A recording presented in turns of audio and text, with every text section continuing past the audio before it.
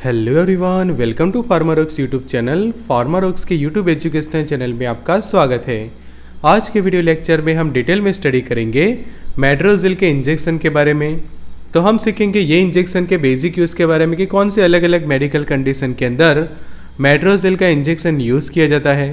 साथ ही जानेंगे उसका डेली डोज वगैरह क्या होता है साइड इफ़ेक्ट्स क्या होते हैं और वार्निंग एंड कॉन्ट्राइंडिकेशंस क्या रहेगी कि जब आप ये इंजेक्शन को यूज़ करते हैं।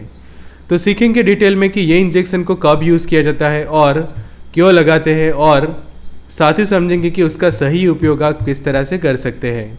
तो सभी पॉइंट को डिटेल में डिस्कस करेंगे आज के लेक्चर के अंदर। तो expert lecture by Amar sir assistant professor and founder of Pharmarocks thank you for being Pharmarocks family updated रहिए फार्मा नॉलेज के साथ एक्सेस कर सकते हैं स्टडी मटेरियल टेस्ट सीरीज़ और वीडियो लेक्चर फार्मारॉक्स के ऊपर अब आप disease and medicine related course भी फार्मारॉक्स की ऐप ऊपर एक्सेस कर पाओगे कि जहाँ पे आप सीखेंगे अलग अलग मेडिसिन के बेसिक यूज़ के बारे में, उनके डोज क्या रहते हैं साइड इफ़ेक्ट उनके वार्निंग कॉन्ट्राइंडिकेशंस वो भी एक साल तक अफोर्डेबल प्राइस में और सरल भाषा में मिलेगी आपको दवाइयों की पूरी जानकारी। तो डाउनलोड करिए फार्मारॉक्स एप्लीकेशन को और एक्सेस करिए, ये कोर्सेज को अफोर्डेबल प्राइस में कोई भी क्वेरी हो तो nine zero one six three one two zero two zero number पे आप कांटेक्ट कर सकते हैं।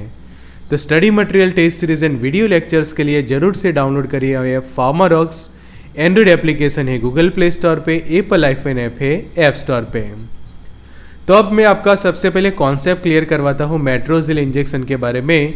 तो ये जो इंजेक्शन है वो एंटीबायोटिक मेडिकेशन है और इसके अंदर जो सॉल्ट कंपोजिशन है, वो है मेट्रोनिडाजोल कि मेट्रोनिडाजोल एज अ सॉल्ट है या फिर जो जीनेरिक नेम हम देखें, उसका तो वो है मेट्रोनिडाजोल और ये ब्रांड नेम है मेट्रोजिल और ये मेडिकेशन क्या करती है कि जो प्रोटोजोआ होते हैं, फिर जो पैरासाइट्स मतलब कि जो हम परजीवी कहते हैं बैक्टीरिया वगैरह होते हैं, फिर अमीबा है तो ये जो अलग अलग माइक्रो ऑर्गेनिजम्स होती है, उनको किल करती है।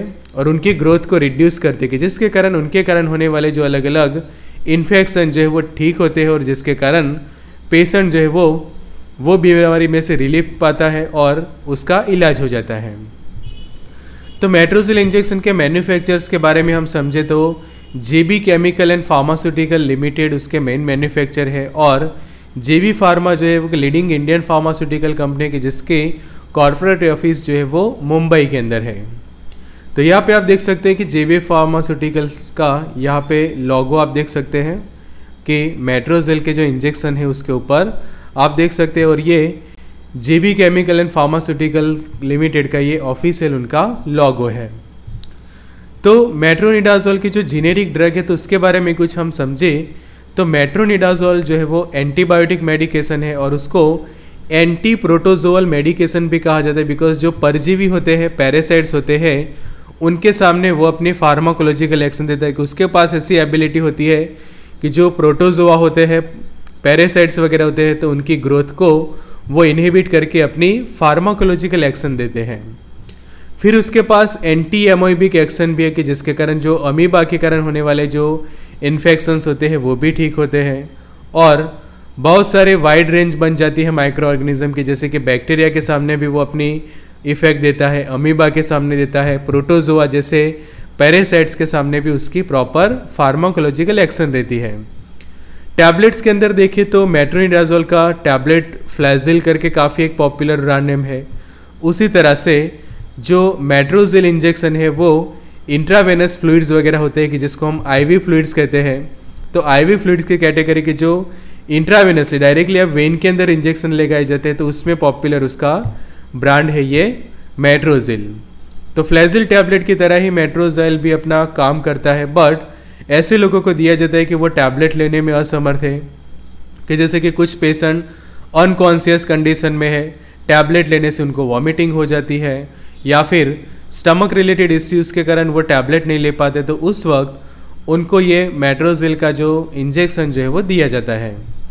तो ये इंजेक्शन की स्ट्रेंथ के बारे में समझे तो ये इंजेक्शन 100 एम की क्वांटिटी के अंदर आता है और इसके अंदर मेडिकेशन हम देखें तो एक एम के अंदर पाँच मिलीग्राम जितना मेट्रोनिडाजोल रहता है। कि यहाँ पे भी देखो लिखा है कंपनी ने कि इंजेक्शन और साथ में लिखा है फाइव एम पर एम उसका मतलब ये होता है कि 100 एम जब आप किसी को आईवी से देते हैं तो उसकी बॉडी के अंदर 500 मिलीग्राम जितना मेट्रोजिल या फिर मेट्रोनिडाजोल ड्रग जो है वो ट्रांसफ़र होगी। ये एक आइसोटोनिक स्टराइल सॉल्यूशन है कि जो इंट्रावेनसली पेशेंट को लगाया जाता है स्पेशली आईवी इन्फ्यूजन्स के थ्रू स्लो आईवी इन्फ्यूजन से उसको दिया जाता है और ये एक आर एक्स ओनली इंजेक्शन है कि जैसे टैबलेट्स के अंदर भी प्रिस्क्रिप्शन बेस रहता है तो ये भी proper prescription base R X only injection की कैटेगरी के अंदर इंक्लूड होता है। आगे कुछ मैं आपके कॉन्सेप्ट क्लियर करवाऊँ कि प्रोटोजुआ क्या होते हैं पैरासाइट्स वगैरह क्या होते हैं, कि कई बार आप ऐसे सुनते हैं कि पैरासाइट्स के इन्फेक्शन को ठीक करता है मेट्रोनिडाजोल बट ये पैरासाइट्स क्या होते हैं? तो पैरासाइट्स ऐसे परजीवी है कि वो किसी दूसरे की जो बॉडी है या फिर जो होस्ट होते हैं, उसको यूटिलाइज करके अपनी ग्रोथ करवाते हैं। जैसे कि मैं आपको समझाता हूँ कि ये एक सिंगल सेल के यू कैरियोटिक्स कहे जाते हैं। सिंगल सेल माइक्रो ऑर्गेनिज्म मतलब कि यहाँ पे आप समझो कि ये जी देख रहे हैं। तो ये एक माइक्रोब या फिर एक microbial is equal to one cell हो जाता है कि उसका जो एक सेल है, बराबर उसका एक पूरी बॉडी बन जाती है कि जिसको सिंगल सेल कहा जाता है और ये परजीवी इसलिए कहा जाता है पैरासाइट इसलिए कहा जाता है कि वो दूसरे के ऊपर निर्भर रहते हैं, जैसे कि फ्री लिविंग कहे जाते हैं उनको, या फिर पैरासाइटिक कि उनका जो फ़ीड है, उनका जो खुराक है वो क्या है तो वो अलग अलग ऑर्गेनिक मैटर्स में से अपना खुराक जो है वो लेते हैं न्यूट्रिशंस लेते हैं, जैसे कि माइक्रो ऑर्गेनिज्म के ऊपर वो डिपेंडेंट रहते हैं, या फिर कोई ऑर्गेनिक टिश्यूज़ वगैरह है, या फिर डेब्रिस वगैरह। अगर ये पैरासाइट आपकी बॉडी के अंदर एंटर होते हैं तो आपके बॉडी में से वो न्यूट्रिशंस वगैरह लेंगे और वहाँ पे अपनी ग्रोथ करवाएँगे। और जैसे जैसे वहाँ पे उनकी ग्रोथ होती जाती है तो वो क्या करते हैं, वहाँ पे इन्फेक्शन फैलाते हैं और उनके कारण अलग अलग जो है वो इन्फेक्शंस होते हैं। तो ये स्पेशली कैसे आपकी बॉडी के अंदर एंटर हो सकते हैं तो उनका जो कोई लोकेशन हम देखें तो वो फ्रेश वाटर्स के अंदर होता है कि जो पानी होता है, उसके अंदर भी ये पैरासाइट्स होते हैं।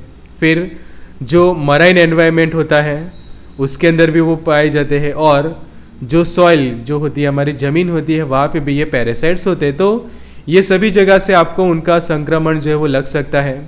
तो अगर आप प्रॉपर हाइजीन कंडीशन मेंटेन करते हैं प्रॉपर ड्रिंकिंग वाटर भी आप उसी तरह से प्रॉपर लेते हैं, कि उबला हुआ पानी पीते हैं, या फिर प्रॉपर मिनरल वाटर वगैरह आप लेते हैं कि जो प्रॉपर क्लीन किया हुआ है आरओ किया हुआ है, या फिर उसको प्यूरीफाइड किया हुआ वाटर आप लेते हैं तो ये जो संक्रमण से आप जो है वो बच पाते हैं।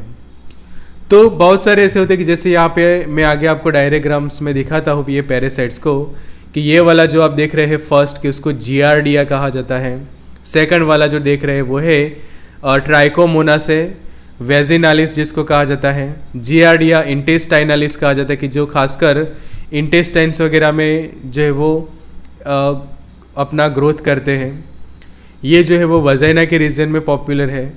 फिर और ट्राइनेसोमा करके जो है, वो भी अलग अलग बॉडी के एरियाज़ के अंदर ग्रोथ कर सकते हैं। ये जो लेसमेनिया की जो स्पीसीज़ होती है, फिर अमीबा आप यहाँ पे देख सकते हैं, और अल्जीना देख सकते हैं, और ये पैरामीसियम तो ये सभी अब देखो पैरासाइट्स है कि वो दूसरे की बॉडी के ऊपर, दूसरे जो होस्ट होते हैं, उनसे अपना न्यूट्रिशंस लेते हैं और वो होस्ट की बॉडी को डैमेज करते जाते हैं, वहाँ पे संक्रमण फैलाते हैं इन्फेक्शन करते हैं। तो मेट्रोजिल का जो इंजेक्शन है, ये जो सब पैरासाइट्स हैं, उनकी ग्रोथ कम करने के लिए दिया जाता है। जैसे कि ये पैरासाइट्स के कारण कई बार आपको पीआईडी का प्रॉब्लम हो जाता है, कि जिसको पेल्विक इन्फ्लामेटरी डिसीज हम कहते हैं शॉर्ट में पीआईडी भी कहा जाता है। तो उसको भी ठीक करेगा ये इंजेक्शन सेकंड एंडोकार्डिटिस की जो कंडीशन होती है, उसमें भी काफ़ी इफ़ेक्टिव साबित होता है। बैक्टीरिया के कारण वजह होने वाला वजनल इन्फेक्शन की जिसको बैक्टीरियल वेजिनोसिस कहते हैं हम, उसके इलाज में भी यूज़फुल है। फिर ड्राकोन कुलासियासिस की जो कंडीशन वहाँ पे भी फिर जियार्डियासिस है ट्राइकोमोनियासिस की कंडीशन है एमेबायसिस है एक्यूट नेक्रोटाइजिंग अल्सरेटिव जिंजीवाइटिस जो है, कि जिसको ए एन यू जी कहा जाता है शॉर्ट में। फिर एच पाइलोरी हेलिकोबैक्टर पाइलोरी के कारण होने वाले जो गैस्ट्राइटिस है या फिर पेप्टिक अल्सर वहाँ पे भी यूज़फुल होता है ये इंजेक्शन और जब गम्स इन्फेक्टेड बनते हैं डेंटल एप्सेसिस होते हैं और उस वक्त समझो कि पेशेंट टैबलेट नहीं खा पा रहा तो आप मेट्रोजिल के इंजेक्शन से उसको ठीक कर सकते हैं। तो पीआईडी के बारे में आपको शॉर्ट में समझा दो तो पीआईडी के अंदर स्पेशली क्या होता है कि जो फीमेल रिप्रोडक्टिव सिस्टम के से जुड़ा ये बीमारी है कि जिसके अंदर सूजन देखने को मिलती है अलग अलग एरियाज़ के अंदर रिप्रोडक्टिव सिस्टम जो फीमेल्स के अंदर होती है, वहाँ पे कि ये यूटेरस के भाग में आपको सूजन देखने को मिले। फिर जो ओवेरीज होती है, यहाँ पे आप देखो तो ये ओवेरी के अंदर सूजन देखने को मिल रही है। फेलोपियन ट्यूब के एरिया में आप देखो सूजन है कि ये साइड नॉर्मल है और इससे ऑपोजिट साइड आप देखो तो आपको देखने को मिलेगा इन्फ्लेमेशन तो जब पीआईडी के जो पेशेंट है वो टैबलेट नहीं खा पाते तो उस वक्त आप उनको मेट्रोजिल के इंजेक्शन जो है वो दे सकते हैं। सेकंड बैक्टीरिया के कारण जो हमारे वाल होते हैं, हार्ट के, वो डैमेज होते हैं कि वो कंडीशन को हम कहते हैं एंडोकार्डिटिस तो एंडोकार्डिटिस के इलाज में भी ये यूज़ किया जाता है कि ये जो बैक्टीरिया होते हैं, वो ऊपर वाला आप देखो कि नॉर्मल ऑर्टिक वाल है। अब ये बैक्टीरिया के संक्रमण के कारण ये वाल को आप यहाँ पे देखो तो इन्फेक्टेड देखने को मिल रहा है कि यहाँ पे आप देखो प्रॉपर नॉर्मल वाल है और नीचे वाले डायग्राम में देखो तो ये वाल में आपको संक्रमण फैला हुआ देखने को मिलता है, बैक्टीरिया के कारण।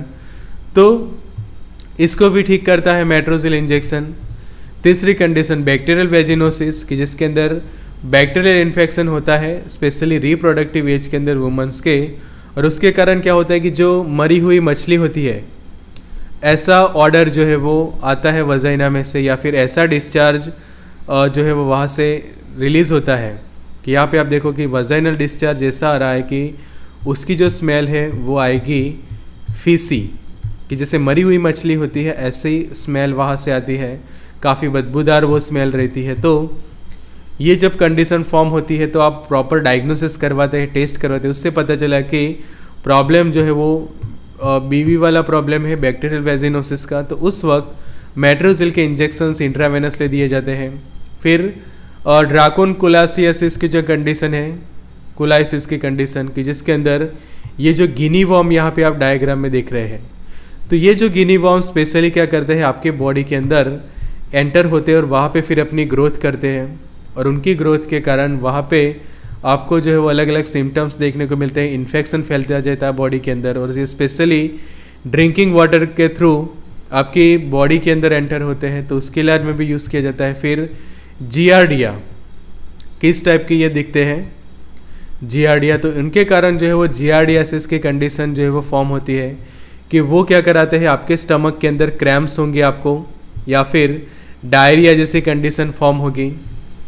तो ये जो है वो स्पेशली कॉन्टामिनेटेड वाटर कि आप ऐसा पानी पी लेते कि जिसके अंदर ये जियार्डिया मौजूद थे तो उसके कारण आपको जियार्डियासिस हो सकता है। फ़ूड ऐसा खा लेते कि जिसके अंदर ये पैरासाइट्स प्रेजेंट थे, ऐसे सर्फेसिस को टच करते हैं और वो डायरेक्टली आपके बॉडी के अंदर फिर पहुँचते हैं। और ऐसे पर्सन के किसी के कांटेक्ट में आते हैं कि जिनको ऑलरेडी इससे इन्फेक्टेड है। छठा हम देखें तो ट्राइकोमोनियासिस जो है, कि यहाँ पे जो आप डायग्राम में देख रहे हैं, वो है ट्राइकोमोनियासिस अब ये जो है वो स्पेशली इन्फेक्शन करते हैं एस करते हैं सेक्सुअली ट्रांसमिटेड हम बीमारियाँ कहते हैं। तो उनको ट्रीच भी कहा जाता है और उनके कारण होने वाला जो इन्फेक्शन है। और ये स्पेशली वजाइना के अंदर इन्फेक्शन करते हैं कि जिसको ट्राइकोमोनास वेजाइनालिस कहा जाता है। तो ये पैरासाइट्स जो स्पेशली प्रोटोजुआ है और ट्राइको की ट्राइकोमोनियासिस तो ये ट्राइकोमोनियासिस आगे जाके वजाइना के अंदर इस तरह का इन्फेक्शन फैलाते कि वहाँ पे आपको जो है वो डिस्चार्ज होता है और वो कई बार बदबूदार डिस्चार्ज भी वहाँ पे होता है। तो उस वक्त भी मेट्रोजिल के इंजेक्शन यूज़ किए जाते हैं। एमीबायसिस की कंडीशन अब जो अमीबा है, एक ऐसे पैरासाइट्स की जिसको हम कहते हैं एंटामोइबा हिस्टोलिटिका ई हिस्टोलिटिका जिनको कहा जाता है कि यहाँ पे आप डायग्राम में देख सकते हैं। तो अगर ये आपके बॉडी के अंदर या फिर इंटेस्टाइन के अंदर फैलते हैं तो उनके कारण आपको क्या होता है? क्रैम्प्स होते हैं। और साथों साथ डायरिया दस्त हो जाते हैं कि काफ़ी दस्त हो जाती है आपको, या फिर ब्लड आएगा स्टूल के अंदर फीवर जैसा आप फील करेंगे, या फिर एमोइबिक डिसेंट्री की जो पेट में मरोड़ की जो हम कंडीशन कहते हैं, ऐसा फील हो जाता है कि ऐसा डायरिया होता है कि जिसके अंदर म्यूकस भी आता है ब्लड भी आता है, और काफ़ी वाटरी डायरिया हो जाते हैं। या फिर, कुछ ऐसे सीवियर केसेस के अंदर, वो लीवर के अंदर एप्सिस भी करवाते हैं। तो अगर ऐसे पेशेंट ऐसे कि उनको टैबलेट से उसको ठीक नहीं हो रहा तो उस वक्त ये आईवी ड्रिप लगाने से मेट्रोजिल की वो काफ़ी जो है वो रिलीफ पाते हैं और उनका इलाज हो जाता है।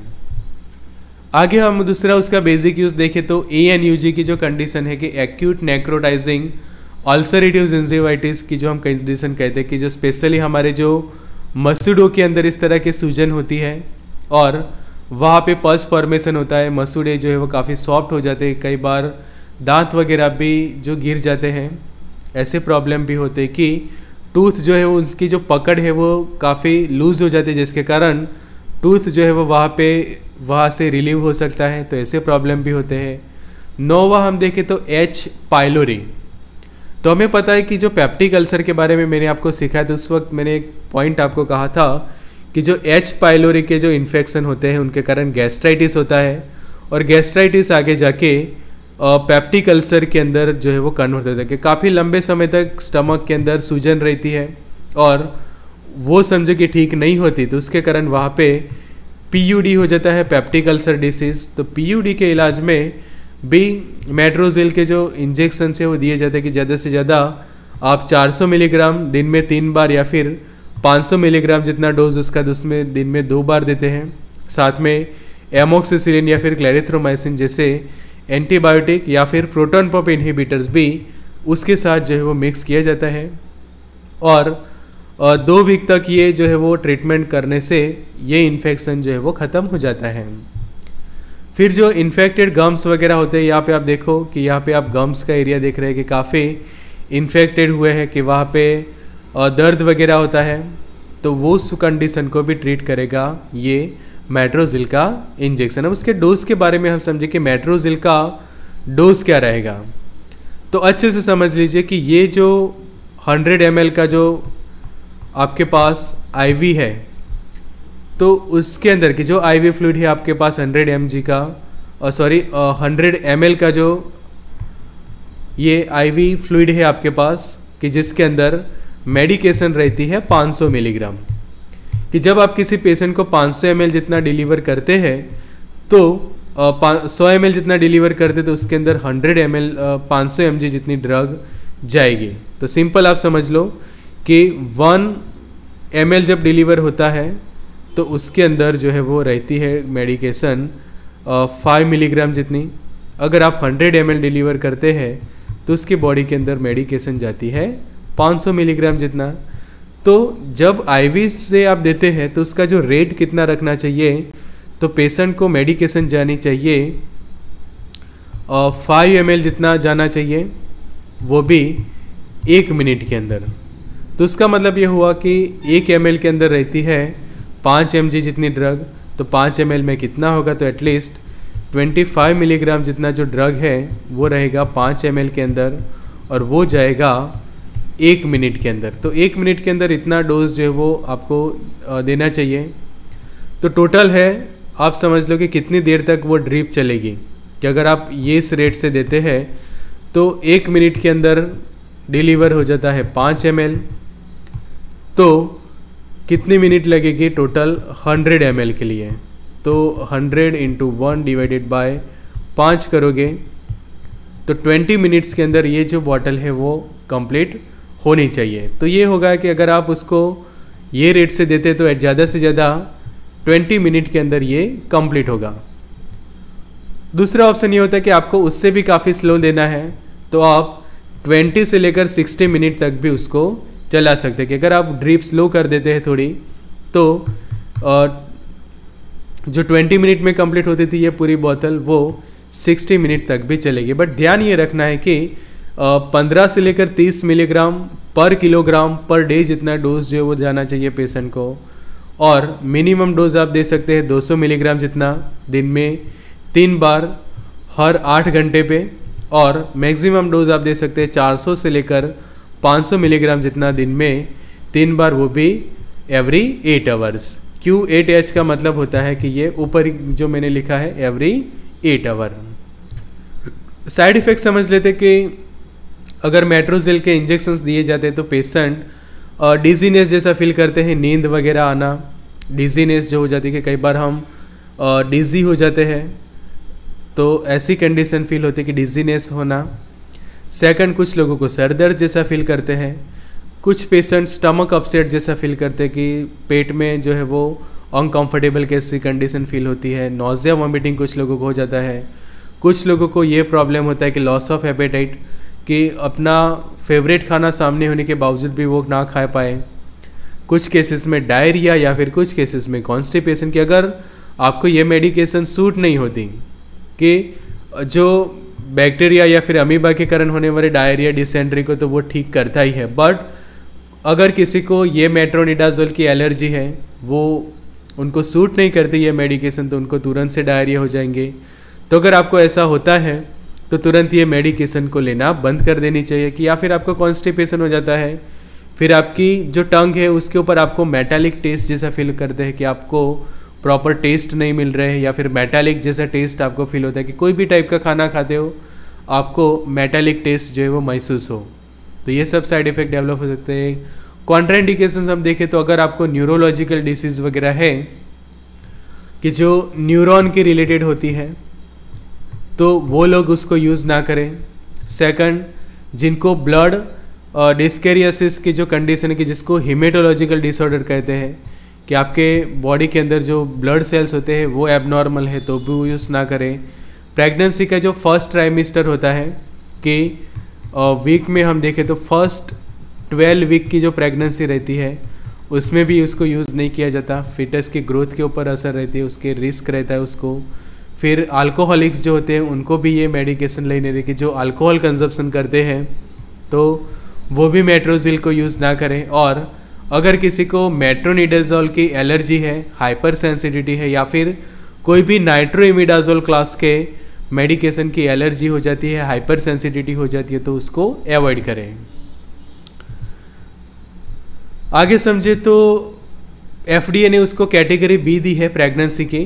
कि प्रेगनेंसी कैटेगरी बी ड्रग है तो ऐसा मान सकते हैं तो वो एज अ सेफ़ कही जाती है स्पेशली प्रेगनेंसी के दौरान कि अगर प्रेगनेंसी में किसी को बैक्टीरियल वेजिनोसिस होता है या फिर ट्राइकोमोनियासिस होता है तो इफ़ेक्टिव होता है, कोई टेराटोजेनिक रिस्क नहीं है। बट कंडीशन ये रहती है कि फ़र्स्ट ट्राइमिस्टर में आप उसको यूज़ ना करें। फ़र्स्ट ट्राइमिस्टर के सिवा जो दूसरे सेकंड और थर्ड ट्राइमिस्टर होते हैं, उसमें यूज़ किया जाता है। बट कॉन्ट्राइंडिकेशन है उसके फ़र्स्ट ट्राइमिस्टर में बिकॉज़ बर्थ डिफेक्ट जैसे कुछ जो है वो रिस्क रहते हैं फिटस के ग्रोथ ऊपर तो स्पेशली गायनिकोलॉजिस्ट के ज़रूर से कंसल्ट करें कि अगर आपको फ़र्स्ट ट्वेल्व वीक की प्रेगनेंसी और बैक्टीरियल इन्फेक्शन होता है वजैना में तो दूसरे अल्टरनेटिव सेफ़ मेडिकेशन यूज़ कर सकते हैं और तब भी आप उसको यूज़ करें कि जब आपके बेनिफिट्स ज़्यादा है कंपेयर टू रिस्क कि अगर बेनिफिट्स ज़्यादा है रिस्क कम है तो भी तो ही आप उसको यूज़ करें। तो इसी तरह से सीखे अलग अलग दवाइयों के बारे में एक साल तक सिर्फ़ फाइव हंड्रेड रुपीज़ में की जो काफ़ी अफोर्डेबल प्राइस रहेगी।